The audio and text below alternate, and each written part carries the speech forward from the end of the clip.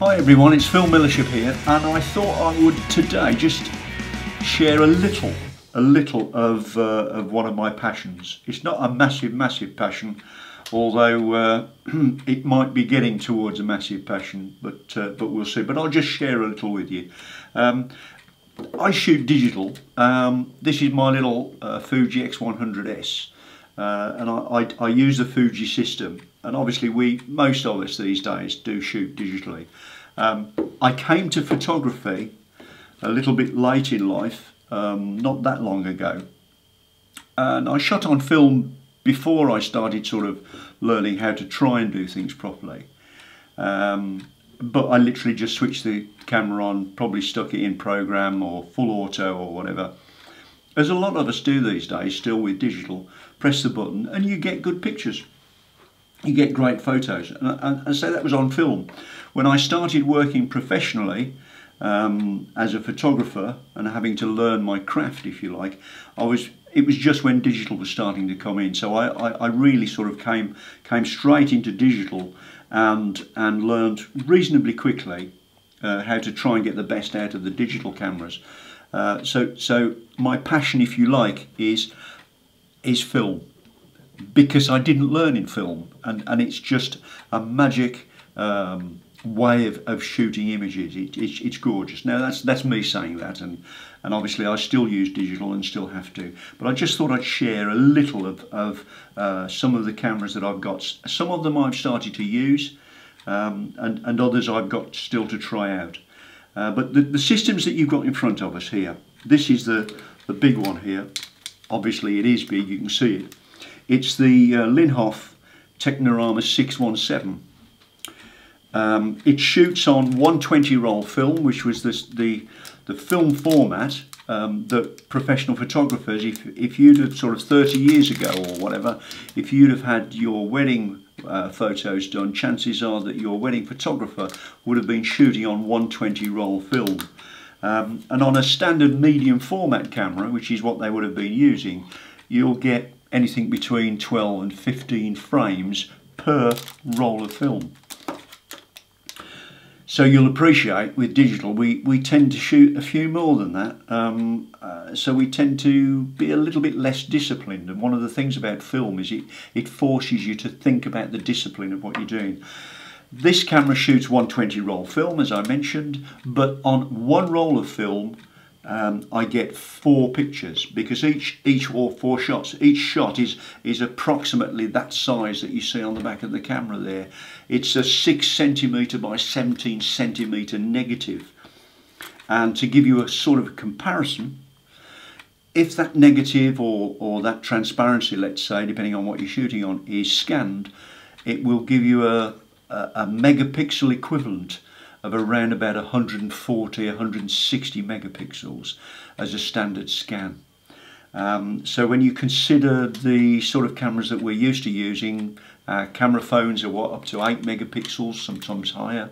Uh, my little Fuji is uh, 16 megapixel.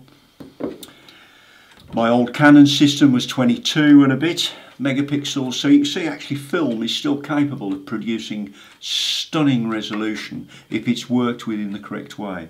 Uh, but this this camera is gorgeous. It's obviously it's a it's a panoramic camera. It shoots a massive negative there which is panoramic. Uh, so it's, it's perfect for for big landscapes and big views um, and I'll, I'll post one or two of the shots. I don't use this camera as often as I would like to. I tend to take it away on holiday with me uh, and, and look for special images that this camera will shoot. But everything's manual. You can't. You, I have to use a light meter to read the light. You set the aperture, the shutter. You, you don't look through the viewfinder, you look through this here. So you're not looking through the film plane. So you have to set your focus uh, on a judgment, on, a, on a, a, judgment of the distance that you're shooting to. So that's my Linhof there. Gorgeous camera. It's not the sort of thing you walk around with really. You tend to, I stick it on the tripod and it goes over my shoulder. I try not to knock the microphone. Now that's my little Fuji Digital. So these are some of the, get rid of that. These are some of the film cameras that I've got. I'm not going to spend a lot of time. What I will pro probably do is do some individual uh, little YouTube pieces on some of the, the cameras. This shoots 120 roll film, the same, not 35 mil. This shoots 120 roll film. It's a little Bella 66. Um, when I got it, the shutter wasn't working properly. I managed to fix the shutter. It's only got three shutter speeds. One hundredth of a second, a fiftieth of a second, and a bulb setting. So you press the button, the shutter stays open as long as you've got the button pressed. And also, interestingly, it doesn't it doesn't have to be wound on to fire. So when you press the button, it takes a picture. If I'd got a roll of film in here, it would double expose or triple expose. Hasn't even got a focus ring on it. So you, so you have to really set this thing up. I don't even know what the aperture is on it. Um, it's got a fixed aperture. Uh, you've only got three shutter speeds and no focus. Um, so you'll see you'll see images off the little Bella on Flickr, um, and they're interesting. So anybody that's into their uh, into their lomography, I think it's called, um, you'll find uh, that this this camera is fun to play with. Uh, but would it produce stunning images? Stunning perhaps, but but perhaps not in terms of their resolution or sharpness. But I, I may stick a roll of film through that and see what we get. This is a little Yashica. It's the Minister 3. It meters on the front. That camera doesn't meter, by the way, same as my Linhof. You have to meter yourself, so you have to use a light meter. Um, or judge the light if you're able to. Uh, but this this uh, little Yashica here, lovely cameras, um, has got a, a, a, light meter around the front of the of the lens there, so you can actually meter. Uh, tells you what the light value is on the top, and then you set the aperture and the shutter accordingly. Again, that's got a roll of film in it. So as soon as I've run that through, um, we'll post some sample images and I'll do a I'll do a, a much more in-depth look at the at the Yashica Minister 3 for you as well. This is another little Yashica which I'll just touch on very very similar uh, to the Minister 3. This is the Minister 2 um, meter on the top the same. There's the meter there. If you can see it there that's the meet that's the way the camera meters light so again you meter your image look at the gauge set the camera off the gauge wind the film on there. Has this one got a roll of film in? No it hasn't. So you wind on there and away you go. And you just keep going as, as, as far as you want to. Get that all the way there. Um, and these two cameras by the way and this one as well are rangefinder cameras so when you look through the viewfinder, you're not looking through the lens like a dig, digital single lens reflex camera. You're actually looking through this little little window here. But when you look through there, you get a split image.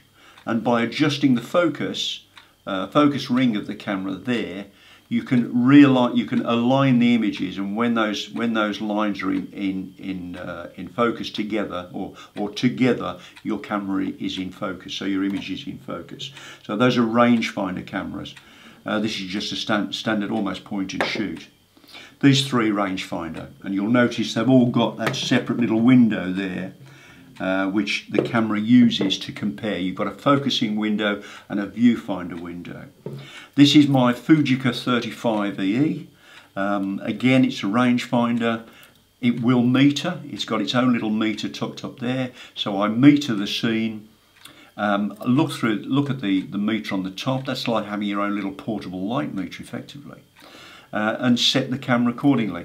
The one thing that the uh, the, the uh, Fujica 35EE has got, it's got an auto setting, so it will almost give you point and shoot. All you have to do is pick the appropriate shutter speed uh, that the camera's telling you will work. And it gives you a little indication in the viewfinder if you're either under or overexposed.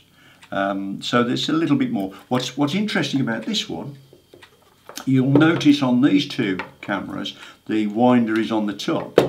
On the Fujica, uh, the winder's on the bottom which is sort of in the wrong place but it's not. When you're using the camera it's really easy to just just wind on. This has got a roll of film in again if we have a closer look at this camera at a later date by then I'll have some uh, I'll have some images to share with you.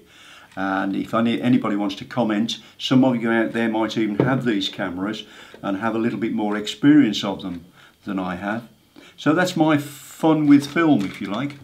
Um, the big boy there, uh, and the, I've covered them up now, but you can see them, uh, and the uh, three rangefinders, the two Yash Yashicas, the Fujica. Um, I've got a camera on its way to me, which I'll do uh, as well, and that's a Werra, a Werra 1, uh, and that's a, a gorgeous camera to behold, but I'll share that with you at a later date. So I hope you've enjoyed that, and um, click on the channel, uh, subscribe, and uh, hopefully we can have some fun with film and with digital. Take care.